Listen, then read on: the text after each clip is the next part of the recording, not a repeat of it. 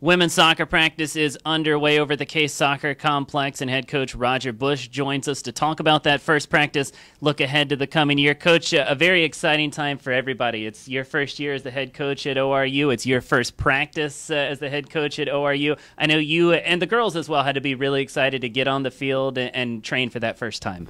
Uh, absolutely. Several of the kids have uh, talked about this morning, thinking about this first practice since last November um, when they were eliminated from the conference semifinals. So they're all very excited. The returners are excited. They've worked hard in the off season looking forward to the season. And you've got a great senior class that I know had to be really excited to get out there and kick off their final collegiate season. And that's a group that, as juniors last year, I know really was a backbone of the team. And, and that's a group that you can lean on again this year, I got to think. Yes, absolutely. This the senior class um, we'll look to for leadership. Um, they've helped cultivate um, an attitude of we're going to work hard and outwork everybody, and we're expecting that leadership to prevail this season. So you got a lot of newcomers that you're mixing in, and every team does this kind of year, trying to figure out the lineup and, and who's going to play when. But I know you're really excited that, that everybody in that uh, incoming class really has an opportunity to, for, uh, to contribute for you guys right away.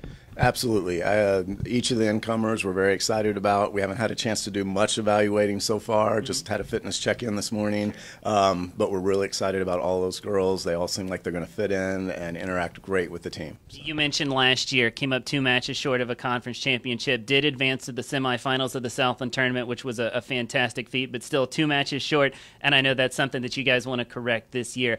Even here on August 7th, first practice of the year, four months out from postseason, that's still got to be something that's in the back of your minds, doing everything you can to get to that point again this year, and this time come away with that trophy. Uh, absolutely. Um, I would say that it's motivating every step of the way for all the kids that have been in the program. They want to get to the national tournament. It's a definite goal, and we think it's within reach. So um, it's a motivator. Absolutely, and it'll be exciting to uh, follow all season long. Head coach Roger Bush, uh, thanks for stopping by, and we'll chat with you many more times throughout the year. Thank you. Thank you. All right. Like we said, women's soccer practice is underway. Ladies will get on the field competitively for the first time on August 17th. Big preseason scrimmage. They'll take on Oklahoma State right here at the Case Soccer Complex. And of course, you can follow women's soccer progress all season long at orugoldeneagles.com.